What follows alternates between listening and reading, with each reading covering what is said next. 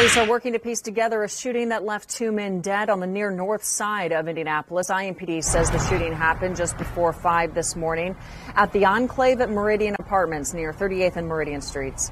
Officers found the victims outside of vehicles in the parking lot behind the building. Their identities have not been released yet. Police say a third person could be involved, but have not made any arrests or released any information about a possible suspect.